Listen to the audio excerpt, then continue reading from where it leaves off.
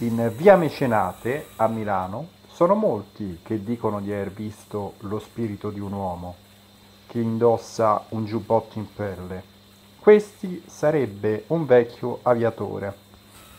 Qualcuno ipotizza anche che si tratti dello spirito del titolare della Campari, il signor Gianni Caproni.